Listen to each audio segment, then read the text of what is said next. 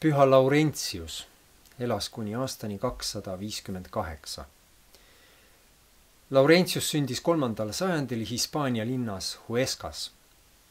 õppis Saragossas, kus kohtus paavst Sixtus teisega, kellele jättis nii sügava mulje, et paavst võttis noormehe endaga Rooma kaasa. Laurentiusest sai kiriku ülemdiakon, kelle ülesandeks oli hoida kiriku varasid. Enne paavst Sixtuse kinnivõtmist andis viimane kõik kiriku raamatud ja vara Laurentiuse kätte.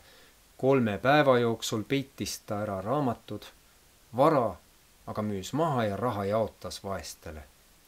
kui Rooma prefekt nõudis Laurentiuselt kiriku vara, esitles too kõiki vaeseid, lesknaisi ja orbusid, öeldes, need ongi kiriku aarded, Kristuse vaesed Laurentius hukati neli päeva pärast Sixtus teise märtri surma praerestil piinates.